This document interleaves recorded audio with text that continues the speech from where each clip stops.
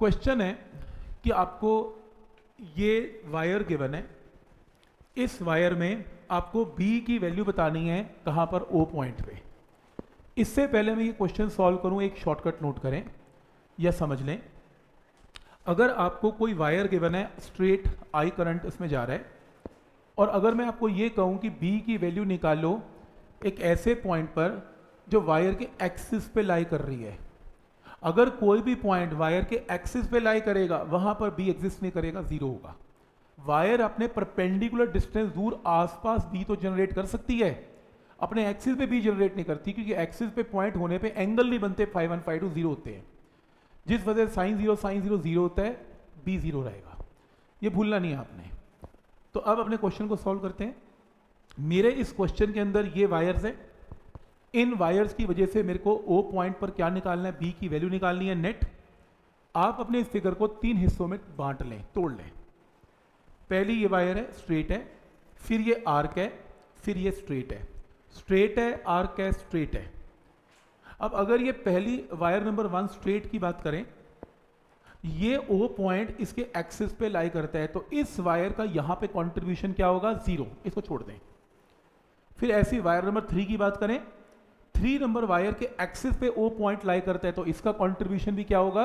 Zero छोड़ दें। क्या बचा? सेमी सर्कल सेमी सर्कल का फॉर्मूला लगा लें। B is mu naught by four pi pi I by R semi circle का फॉर्मूला और डायरेक्शन क्या होगी? क्योंकि कर्व है तो चार फिंगर करंट के साथ घुमाएँ। बी कैसे आएगा?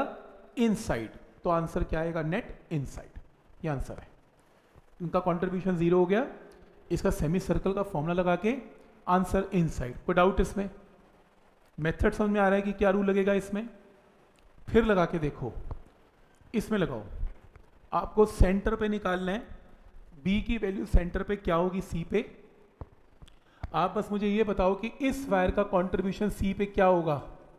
ज़ीरो क्योंकि सी पॉइंट इसके एक्सिस पे लाई करता है.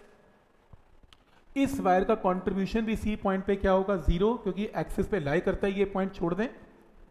क्या बचा? सेमी सर्कल सेमी सर्कल में बी का formula mu naught by four pi pi into I divided by R हो जाएगा। डायरेक्शन बता दें। चेक करें। चार फिंगर चार फिंगर को करंट के साथ घुमाएँ तो थम कैसे आएगा? इनसाइड तो आंसर कैसे आएगा? इनसाइड को क्रॉस से रिप्रेजेंट किया जा सकता है। क्या स्टेप क्लियर है यहाँ तक? कि कैसे सोचना है इसमें? ठीक? तो इसके अंदर ये तो सेम क्वेश्चन है जो ऊपर किया। इसे करें। इसे करें। इसमें एक लॉन्ग इनफाइनाइट स्ट्रेट वायर है और साथ में एक सर्कल भी है। इस पूरे क्वेश्चन को दो हिस्से में तोड़ लें। ये वायर नंबर वन है और ये वायर नंबर टू है। वायर नंबर वन ये लॉन्ग वायर है इनफाइनाइट वायर है। आपको बी कहाँ पे निकालना है? पॉइंट ओ पे निकालना है, ओ पे निकालना है। अब मुझे ये बताएँ कि ओ पॉइंट से इसकी दूरी कितनी है? मान लो आर और करंट कितना जा रहा है इसमें? आई आई तो आई करंट जा रहा है और डिस्टेंस कितना है? आर तो बी की वैल्यू इस वायर की वजह से इनफाइनाइट वायर की वजह से फॉर्मूला देखो चेक करें। लास्ट टाइम किया था। Mu naught by four pi two I divided by R तो वायर नंबर वन के लिए इनफाइनाइट वायर का रिज़ल्ट यूज़ कर दिया। क्या स्टेप यहाँ तक क्लियर है? वायर नंबर वन क्लियर है? वायर नंबर टू सर्कल है। सर्कल है तो सर्कल के लिए फॉर्मूला क्या यूज़ किया था? Mu naught by four pi two pi I divided by R. क्या स्टेप क्लियर है यहाँ तक? स्ट्रेट वायर के लिए बी का फॉर्मूला आ गया, सर्कल के लिए बी का फॉर्मूला आ गया। कोई डाउट इसमें? ठीक, डायरेक्शन बोले अब साथ साथ स्ट्रेट वायर बोलें। स्ट्रेट वायर ओ पॉइंट पर बी की डायरेक्शन कहाँ लगाएगा? इन की आउट आउटसाइड लगाएगा चेक करें। स्ट्रेट वायर है थंब करंट के साथ ये रहा। थंब करंट के साथ तो बी कैसे आएगा? आउटसाइड थंब करंट के साथ बी कैसे आएगा? आउटसाइड तो इसके ब्रैकेट में क्या लिख देते हैं? आउटसाइड ये बी वन वेक्टर आ गया। क्योंकि मैग्नीट्यूड के साथ डायरेक्शन भी आ गई। नेक्स्ट सर्कल देखें। सर्कल की वजह से बी की डायरेक्शन बोलें। कैसी? आउटसाइड कैसे? चार फिंगर करंट के साथ। तो चार फिंगर करंट के साथ तो कैसे आएगा? आउटसाइड आउटसाइड ये देखो। तो यहाँ पर भी क्या आएगा? आउटसाइड अब बी वन भी आउटसाइड है बी टू भी आउटसाइड है तो नेट बी की वैल्यू क्या आएगी? नेट की बी की वैल्यू में mu naught by four pi I divided by R two plus two pi common निकल गया, और नेट डायरेक्शन क्या मेंशन करनी पड़ेगी? आउटसाइड या क्रॉस सॉरी डॉट एक ही बात है। आउटसाइड को कैसे रिप्रेजेंट करते हैं बाय डॉट आंसर ऐसे ऑब्जेक्टिव के अंदर ये ऑप्शन ऐसे गिवन होती हैं ऑप्शंस तो कॉमन निकाल के दिया होता है और साथ में आपको डॉट या क्रॉस साथ में मेंशन होता है. मेथड समझ में आ रहा है कि क्या इसमें रूल लगेगा इसमें? दो बी अगर सेम डायरेक्शन में है तो दोनों ऐड हो जाएँगे और ऐड होने के बाद नेट आंसर आ जाएगा. कोई डाउट इसमें? क्लियर है यहाँ तक? Next O point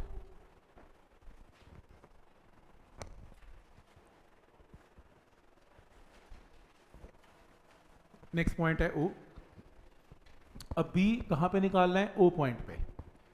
ये जो वायर है, ये चार हिस्सों में तोड़ लो. ये वायर नंबर वन है, ये टू है, ये थ्री है और ये फोर है. तो वायर नंबर जो फोर है, क्योंकि हमने बी कहाँ पे निकालना है? ओ पे. तो वायर नंबर फोर के लाइन के एक्सिस के ऊपर ओ पॉइंट लाई करता है तो इसका कंट्रीब्यूशन क्या होगा? ज़ीरो तो कम से कम वायर नंबर फोर को तो छोड़ ही दो, इसका कंट्रीब्यूशन लेना ही नहीं. वायर नंबर टू के ऊपर भी ये ओ पॉइंट लाई करता है तो इसका कंट्रीब्यूशन भी क्या होगा? ज़ीरो तो ये क्या है? ज़ीरो ये क्या है? ज़ीरो बची दो वायर्स वायर नंबर वन का रेडियस कितना है? ए और आर्क ने एंगल कितना सबटेंड किया? एल्फा तो आर्क का फॉर्मूला होता क्या है? Mu naught by four pi alpha into I divided by A theta I by A तो एल्फा आई बाय ए तो फॉर्मूला आ गया बी का। पहले वैल्यू लिखेंगे डायरेक्शन बाद में देखते हैं। ऐसे वायर नंबर जो नेक्स्ट वायर है, यानी कि wire number three wire number three ने भी एंगल क्या सबटेंड किया? एल्फा और वायर नंबर थ्री का रेडियस कितना है? बी तो फॉर्मूला आर्क का लगाएँ mu naught by four pi alpha I divided by radius क्या हो गया इसमें? बी एक का रेडियस ए एक का रेडियस बी ठीक हो गया यहाँ तक? बी वन बी टू की वैल्यूज़ आ गई राइट डायरेक्शन मेंशन करते हैं। वायर नंबर वन में आर्क है। तो चार फिंगर आर्क के साथ। तो बी कैसे आएगा? आउट आउट तो इसके पीछे क्या आएगा? आउट आउटसाइड है। इस वायर के लिए बोलो इन कैसे? चार फिंगर करंट के साथ। तो बी कैसे आएगा? इन तो यहाँ पर क्या आएगा? इनसाइड अब एक बी आउटसाइड प्रोड्यूस कर रहा है। और एक भी इनसाइड कर रहा है तो दोनों भी आपस में क्या होंगे? माइनस है ना? आउटसाइड इनसाइड माइनस बोलो, बड़ा कौन, छोटा कौन? बी वन बड़ा कि बी थ्री बड़ा? बी वन कैसे बड़ा? क्योंकि रेडियस छोटा है, उसका ए छोटा है और बी बड़ा है। तो ये बड़ा है। तो नेट जो वैल्यू आएगी बी की will be equal to B one minus B three that is mu naught by four pi alpha I one by A, one by B. क्योंकि ये बड़ा है तो नेट डायरेक्शन भी कैसे आएगी? आउटसाइड। तो क्या ये पॉइंट यहाँ तक क्लियर है? Net direction outside. कोई डाउट इसमें। ठीक, समझ में आ रहा है यहाँ तक? तो कैसे लिखने आंसर्स क्लियर है? मोस्ट प्रॉब्ली ये क्वेश्चन ऑब्जेक्टिव्स ही आते हैं सब्जेक्टिव कम आते हैं। ऑब्जेक्टिव में ऐसी ऑप्शन आपको गिवन होती हैं। ठीक यहाँ तक? नेक्स्ट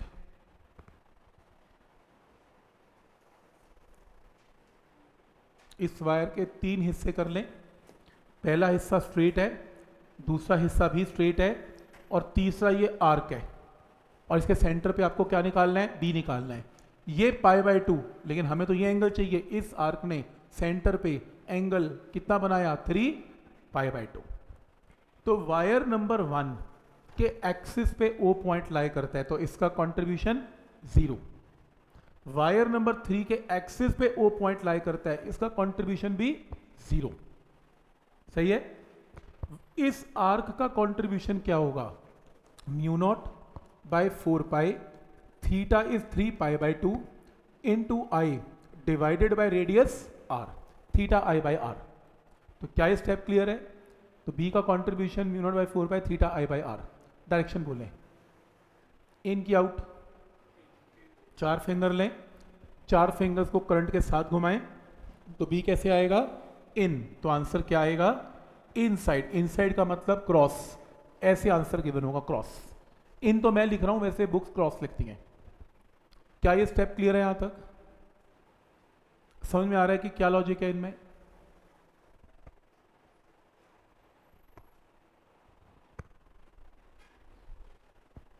ठीक है?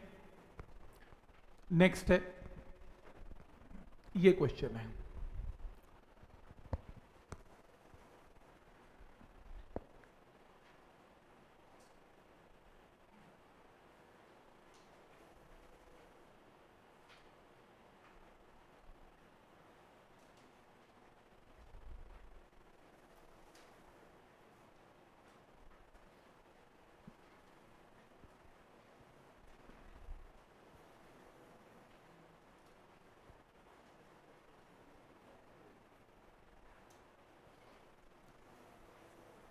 देखो, इस क्वेश्चन को सॉल्व करने से पहले आपको एक काम करना है।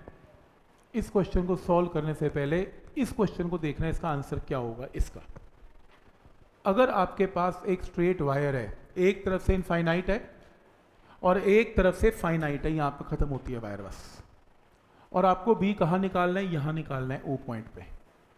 अगर ये वायर थोड़ी और लंबी होती, ऐसे तो मैं एंगल एल्फा वन लेता एल्फा टू लेता ऐसे, और मेरा आंसर आता sine alpha one plus sine alpha two जैसे हमने लास्ट टाइम किया था। प्रॉब्लम ये है कि ये वायर यहीं पे ख़त्म है तो ये एंगल क्या बनने वाला है?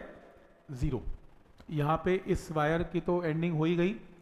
वायर आगे एक्सटेंड तो हो नहीं रही।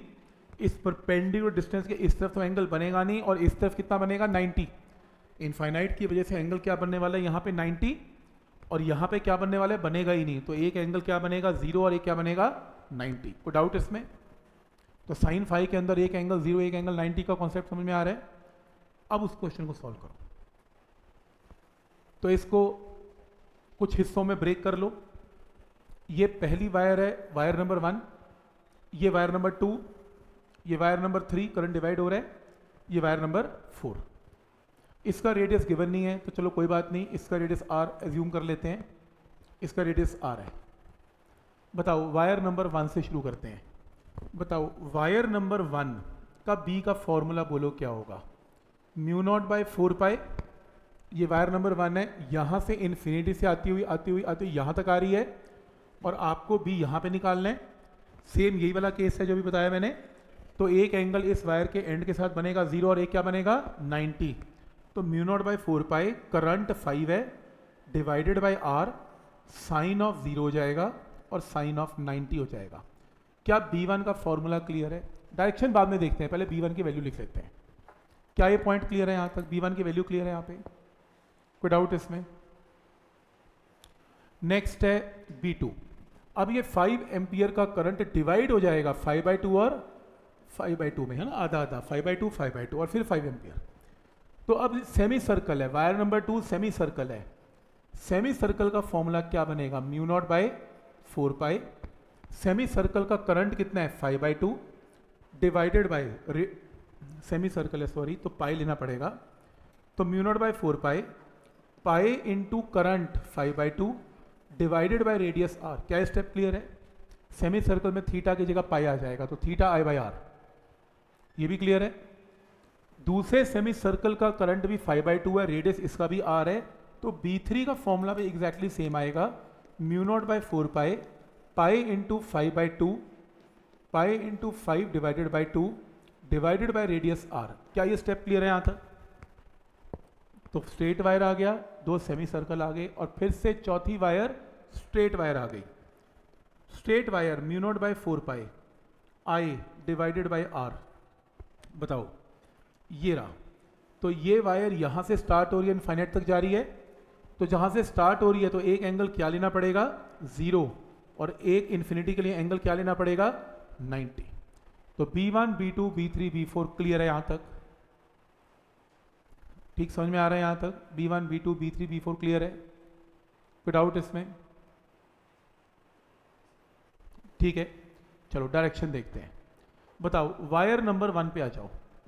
ये रही wire number one wire number one इस ओ पॉइंट पर बी की डायरेक्शन बोलो क्या लगाएगी?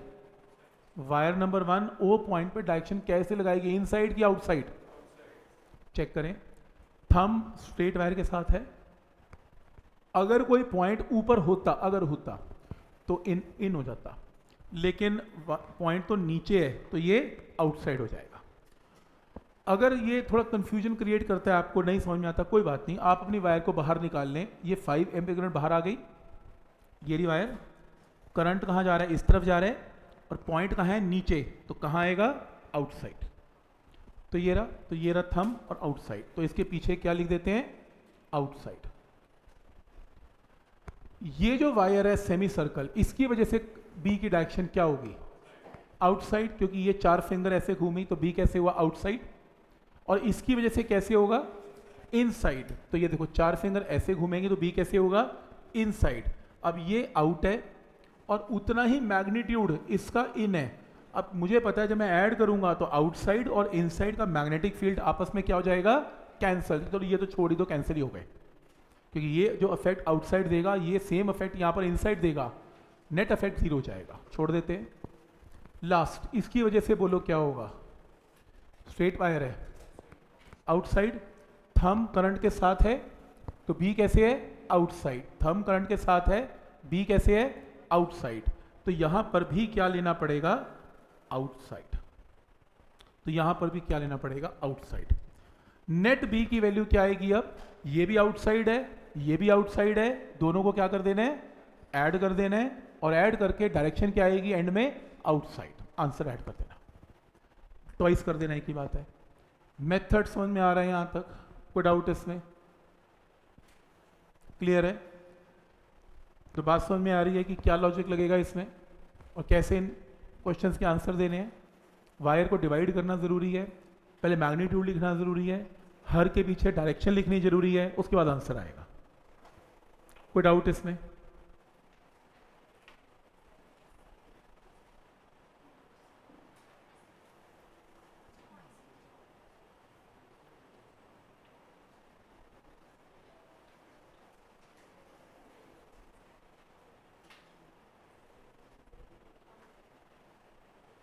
ठीक है यहाँ तक?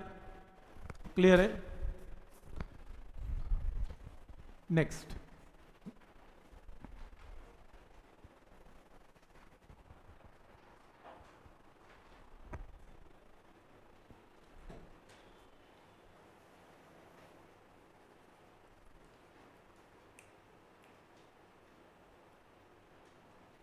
नेक्स्ट क्वेश्चन के अंदर, ये आपके सामने, ये देखो ये एक आर्क है, ये एक आर्क है, ये स्ट्रेट ये स्ट्रेट है।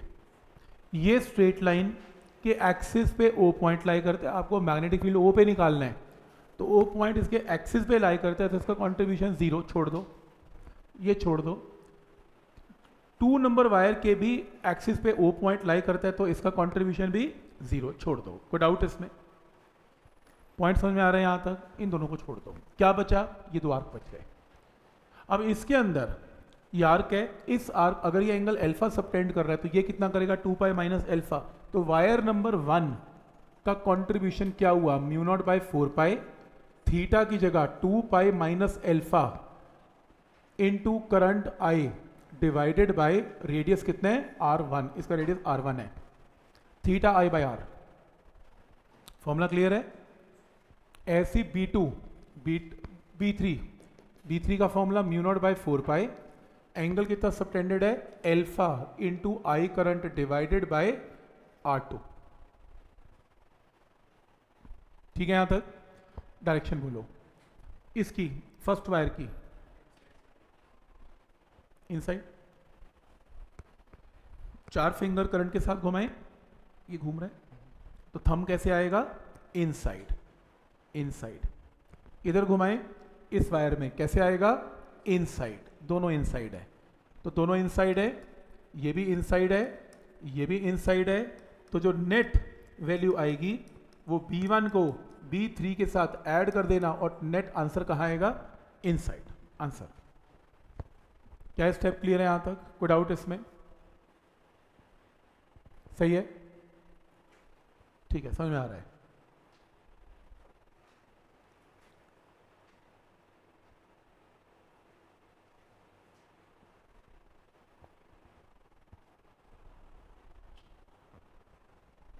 Next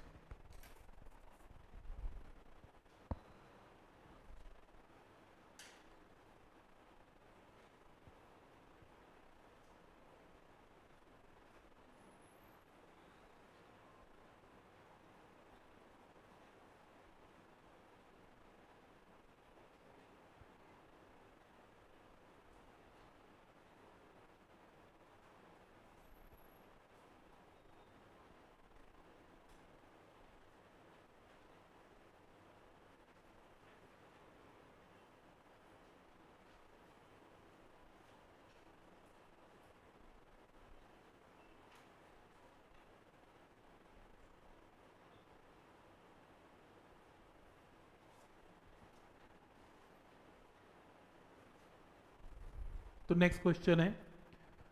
Net magnetic field O point पे निकालना है। अब ओ पॉइंट इस क्वेश्चन को दो हिस्सों में डिवाइड कर लें। एक स्ट्रेट है और एक आर्क है। ये अगर 90 है पाई बाय टू है तो ये आर्क का एंगल क्या होगा? थ्री पाई बाय टू इस क्वेश्चन के अंदर आपको ये स्ट्रेट वायर है फाइनाइट है इनफाइनाइट नहीं है तो साइन फाइव फाइन फाइव वाला फॉर्मूला लगेगा इसमें। तो ये परपेंडिकुलर डिस्टेंस यहाँ से कितना है? ए जो कि गिवन नहीं है। आपको गिवन क्या है इसमें सिर्फ़? आर तो आपको एक खुद निकालना पड़ेगा पेपर में। तो ए परपेंडिकुलर डिस्टेंस निकाल लेते हैं। ये आधा एंगल क्या होगा? 45 तो कॉस ऑफ़ 45 की वैल्यू इस ट्राइंगल में क्या आएगी? ए डिवाइडेड बाय आर तो one by root two is equal to A divided by R तो ए की वैल्यू क्या आएगी? आर बाय रूट टू तो आपको ए गिवन नहीं होगा। आपको परपेंडिकुलर डिस्टेंस वायर का निकालना पड़ेगा। आपको टेरा डिस्टेंस आर गिवन है। तो ए आ गया। अब ये फाइनाइट वायर है। फाइनाइट वायर का फॉर्मूला क्या होता है? Mu naught by four pi current I divided by A अब ए को एंड में क्या पुट करने वाले हैं हम? R by root two into sine of forty five plus sine of forty five क्योंकि एक एंगल फाइव वन है तो दूसरा एंगल फाइव टू है। क्या स्टेप क्लियर है यहाँ तक?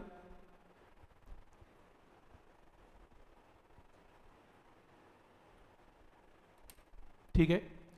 नेक्स्ट है बी टू सेकेंड वायर, जो कि आर्क है।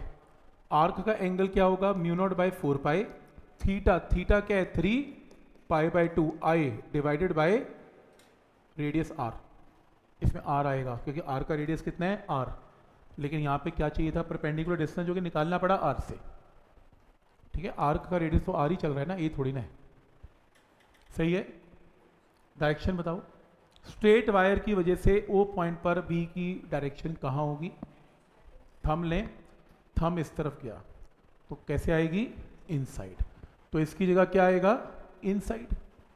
इस आर्क की वजह से बोलो, इनसाइड, चार फिंगर आर्क के साथ घूमेगी तो थम कहाँ आएगा? इनसाइड। तो ये भी कैसे आएगा? इनसाइड। नेट बी की वैल्यू क्या आएगी? बी वन ने बी टू में ऐड करेंगे और नेट डायरेक्शन क्या आएगी? इनसाइड ही आएगी। क्या स्टेप यहाँ तक क्लियर है? कोई डाउट इसमें। समझ में आ रहा है यहाँ तक?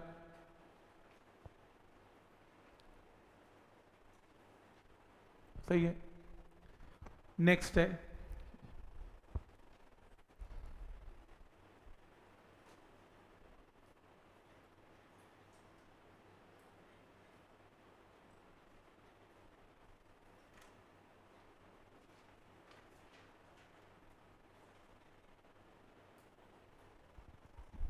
ये दो सर्कुलर लूप्स हैं। और ना ये सर्कुलर लूप एक के अंदर एक है। कैसे? परपेंडिकुलर है। एक मान लो सर्कुलर लूप ऐसा है और एक सर्कुलर लूप ऐसा है। एक के अंदर एक है। तो ये हॉरिजॉन्टल लूप है और एक वर्टिकल लूप है। चलो हॉरिजॉन्टल से स्टार्ट करते हैं। हॉरिजॉन्टल लूप में करंट ऐसे है। देख रहे हो? ऐसे है। तो ये रहा ऐसे हॉरिजॉन्टल लूप में करंट ऐसे है। इसके सेंटर पे, क्योंकि ये जो ओ पॉइंट है, ये कॉमन पॉइंट इनका सेंटर है दोनों का। सेंटर पे बी का फॉर्मूला आपको आता है रिंग के सेंटर पे। आप मुझे ये बताओ कि अगर करंट इसमें ऐसे घूमेगा तो बी की डायरेक्शन कहाँ होगी? अपवर्ड्स होगी क्यों? चार फिंगर को करंट के साथ घुमा दो। तो थम कहाँ आएगा? ऊपर। सही है? तो हॉरिजॉन्टल लूप में करंट अगर ऐसे घूमेगा तो बी कैसे होगा? ऊपर। तो देख रहे हो पी पॉइंट की वजह से बी कैसे है? ऊपर। Mu naught by four by two by I by R पहला रिज़ल्ट क्लियर है तो हॉरिजॉन्टल लूप यहाँ पर भी ऐसे लगाएगा, ऊपर लगाएगा। वर्टिकल लूप देख लें। वर्टिकल लूप में ना बड़ी कन्फ्यूज़न होती है। कई लोग कहते हैं कि करंट यहाँ से बाहर आ रहा है ये अंदर जा रहा है।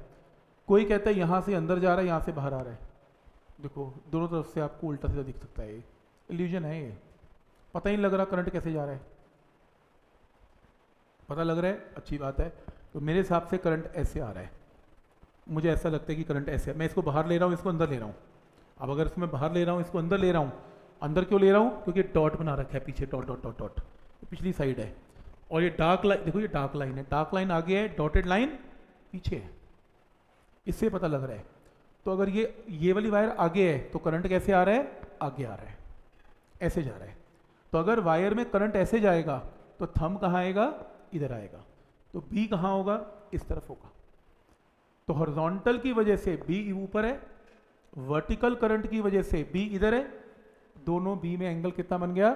90 तो बी का फॉर्मूला इसका भी एग्जैक्टली सेम है सर्कुलर लूप के सेंटर पे. तो सर्कल के सेंटर पे इसकी वजह से बी का फॉर्मूला ऊपर सर्कल के सेंटर पे इसकी वजह से बी का फॉर्मूला इधर, दोनों भी 90 डिग्री पे हैं. नेट बी की वैल्यू क्या होगी? Under root of B P square plus B Q square add कर देना ऑप्शन मार्क कर लेना. और क्योंकि B is a vector quantity तो नेट बी जो आएगा, उसका कुछ एंगल बनेगा। एंगल मान लो थीटा टेन थीटा क्या होगा? B P by B Q B P B Q का मैग्नीट्यूड तो सेम ही है तो वन आएगा। थीटा क्या आएगा? 45 डिग्री क्या ये पॉइंट यहाँ तक क्लियर है? तो डायरेक्शन लगानी आ रही है स्ट्रेट लाइन में और कर्व लाइन में डायरेक्शन कैसी बनेंगी? ठीक है। एक क्वेश्चन इसी के अंदर कुछ यहाँ पे गिवन है। सर्कुलर लूप का ये वाला।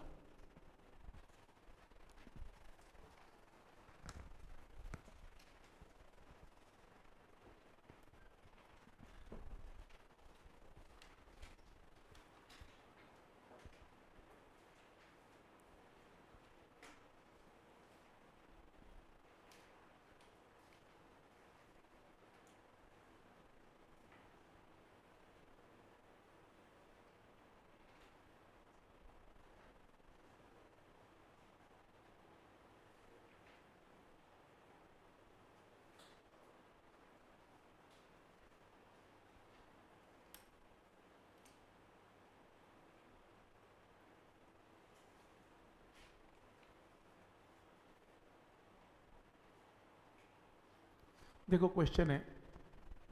दो सर्कुलर लूप्स हैं आमने सामने पड़ी हुई हैं। वो एक्सियल है। ठीक है आमने सामने पड़ी हुई हैं और ये एक स्ट्रेट लाइन है। इसमें करंट वो आपको दे रहा है आई वन वन एम्पियर इसका रेडियस तीन सेंटीमीटर है और इसमें वो पूछ रहे करंट की डायरेक्शन क्या होनी चाहिए और वैल्यू करंट की क्या होनी चाहिए कि ओ पॉइंट पर नेट बी ज़ीरो आ जाए। ओ पॉइंट पर नेट बी ज़ीरो आ जाए। अब रूल नंबर वन अगर सपोज़ करो, आप एक लूप लेते हैं, ये रहा लूप इसमें मान लें करंट यहाँ जा रहा है। मान लें, ये फ़र्स्ट लूप है, मान लो, इसमें करंट ऐसे जा रहा है। और मेरे को ओ पॉइंट यहाँ पे गिवन है एक्सिस के ऊपर। देखो ना ओ पॉइंट कहाँ पर गिवन है? एक्सिस के ऊपर। तो अगर मैं ये पूछूँ कि ओ पॉइंट पर इस करंट की वजह से बी की डायरेक्शन क्या होगी? तो आप करंट के साथ चार फिंगर घुमाएँगे। बी कहाँ पे आएगा? इस तरफ़। तो आंसर क्या होगा? इस तरफ़। तो अगर फ़र्स्ट लूप में करंट ऐसे घूम रहे तो बी कहाँ होगा? इस तरफ़। तो क्या मैं ये मार्क कर सकता हूँ? फ़र्स्ट लूप में अगर करंट घूम रहे तो बी वन कहाँ होगा?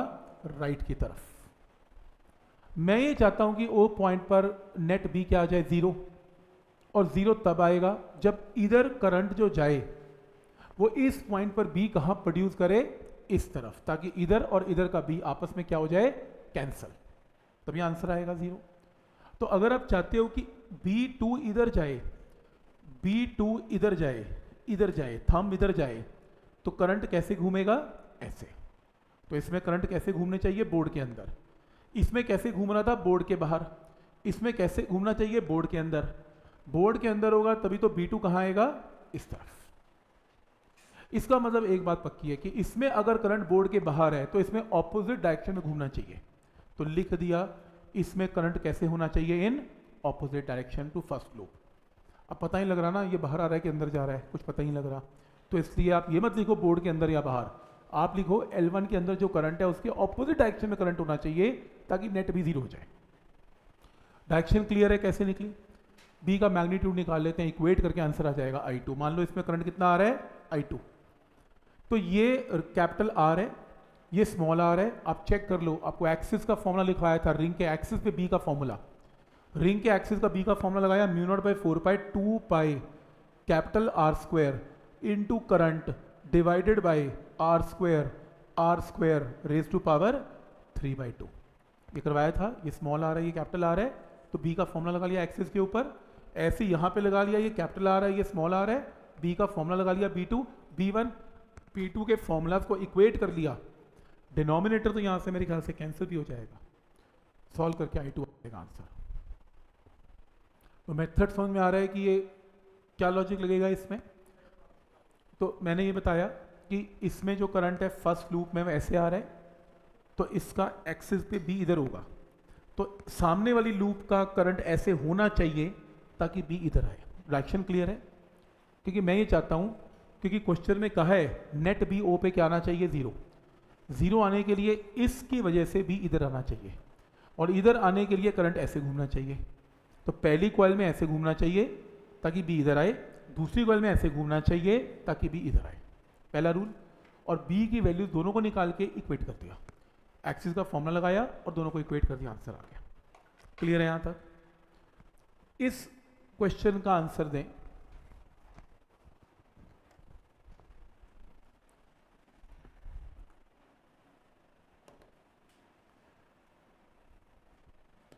ये लो। सपोज़ आपके पास ये एक वायर है। ये वायर है और ये वायर है। ये करंट आया आई इधर आया और ये इधर आ गया। सच दैट ये यहाँ पे कोई करंट नहीं है। ये वाई एक्सिस है। ये सेमी सर्कल है। मान लो ये जेड एक्सेस है, मान लो ये एक्स एक्सेस है तो इसमें करंट आई आर है, ये सेंटर सी है, आपको सेंटर सी पे नेट बी की वैल्यू बतानी है क्या है? तो ये इनफाइनाइट वायर है इनफाइनाइट वायर है, ये वायर ऐसी नहीं है एक्चुअल में ये वायर कहाँ पर है? बोर्ड के बाहर आ रही है, ये ऐसे आ रही है।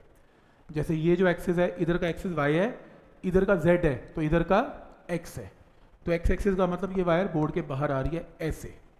ऐसे आ रही है तो आपको नेट भी निकालना है, क्या होगा? तीन हिस्से बनाओ वायर के। वन टू और थ्री तो देखो, कैसे बनेंगे तीन हिस्से? तीन हिस्से ऐसे बनेंगे। ये वायर नंबर वन है, ये वायर नंबर टू है, और ये वायर नंबर थ्री है।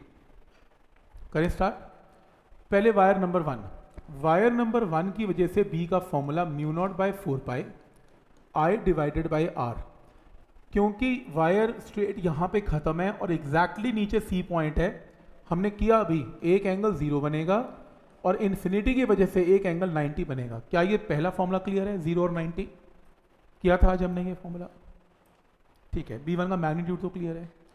B two B two semicircle है। सेमी सर्कल का formula mu naught by four pi pi into I divided by R क्या स्टेप क्लियर है? सेमी सर्कल का फॉर्मूला क्लियर है? ये भी क्लियर है। नेक्स्ट है थर्ड वायर जो थर्ड वायर है, वो कैसी है? ये वायर है, ऐसी इसको मत देखो, ये है, ऐसी है। अब एक पॉइंट सी एग्जैक्टली इस फायर के कोने पे और एक 90 डिग्री पे है। एंगल 90 बनेगा इन्फिनिटी की वजह से और एक एंगल क्या बनेगा? ज़ीरो तो एक एंगल ज़ीरो बनेगा, एक एंगल 90 बनेगा।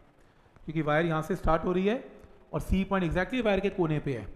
तो बी थ्री की value mu naught by four pi I divided by R sine of zero plus sine of 90 है। क्या ये यहाँ तक क्लियर है? तीनों फॉर्मूलाज क्लियर है B one B two B three के चेक कर लो। यहाँ पे कोई डाउट डायरेक्शन शुरू करते हैं। वायर नंबर वन की डायरेक्शन बोलो, क्या होगी बी की? आउटसाइड ओके, थम, करंट के साथ।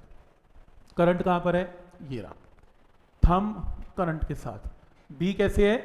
आउटसाइड थम, करंट के साथ स्ट्रेट वायर है। बी कैसे आएगा? आउटसाइड तो मैं लिख देता हूँ यहाँ पे कि जो बी की वैल्यू है, इसमें कैसी है?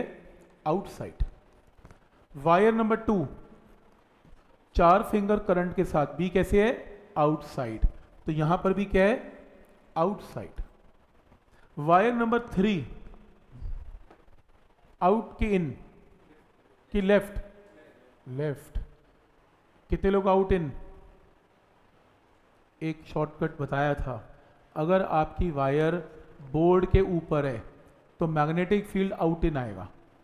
लेकिन अगर आपकी वायर आउट इन है तो मैग्नेटिक फ़ील्ड तो बोर्ड के ऊपर ही आएगा। आउट इन आ नहीं सकता। आपकी वायर ही बाहर आ रही है। तो आपकी वायर तो आ रही है बाहर। बी कैसे बाहर होगा? बी बाहर हो ही नहीं सकता। तो फिर क्या करेंगे? ये मैंने लिया थम देखो करंट कैसे आ रहा है आपकी तरफ़? ये देखो इधर।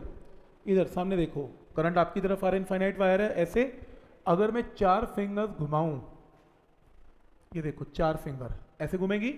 और यहाँ पर टेंजेंट ड्रॉ करें तो कैसे आएगा? लेफ़्ट ये देख लो। ये वायर आपकी तरफ़ आ रही है। ये मैंने क्या लिया? ये रहा थम इस पॉइंट पर कैसे आएगा? बी मेरी तरफ़ आएगा। लेफ़्ट तो समझ में आ रहा है यहाँ तक? ये पॉइंट क्लियर है? थम इधर तो ऊपर पॉइंट है तो कहाँ पर आएगा? लेफ़्ट अब ये बड़ी अजीब सी बात हो गई। मैं इन्हें सॉल्व कैसे करूँगा? आउट इन लेफ़्ट नहीं कर पाऊँगा। इसलिए क्वेश्चन में जानबूझ के आपको ना एक्सिस मेंशनड है। तो आपका जो पहला आंसर था वो आउट था। आउट में कौन सा एक्सिस आ रहा है? एक्स तो पीछे क्या लिखेंगे? I cap I cap. Out मतलब यहाँ पर कौन सा एक्सिस है? आपकी तरफ़ एक्स एक्सेस आई कैप इसकी वजह से भी आउट था तो पीछे क्या लगेगा? आई कैप और लेफ़्ट का मतलब जानबूझ के वाई एक्सिस यहाँ गिवन है राइट तो पीछे कौन सा एक्सिस है? माइनस जे कैप अब इन तीनों को ऐड कर देना। आपको ऑब्जेक्टिव ऑप्शन में आई जे माइनस जे में आई और माइनस जे में ऑप्शन गिवन होगा। कॉमन कॉमन निकाल के ऑब्जेक्टिव क्वेश्चन मार्क कर लेना। तो आइडिया समझ में आ रहा है? अब ये ना, अब क्या अब आप कहोगे, मुझे कैसे पता लगेगा आउट इन लिखना है या आई जे लिखना है? ऑब्जेक्टिव का ऑप्शन दिखा देगा। ऑब्जेक्टिव के ऑप्शन में अगर आई जे गिवन है, फिर आपको आउट और इन नहीं लिखना। फिर आपको आई जे के में लिखना है। अगर ऑब्जेक्टिव के अंदर डॉट क्रॉस है, इसका मतलब आउट और इन में आंसर है। ये डिपेंड करेगा क्वेश्चन पूछने वाले पे वो क्या देना चाहता है। तो आइडिया क्लियर है यहाँ तक? कोई डाउट इसमें?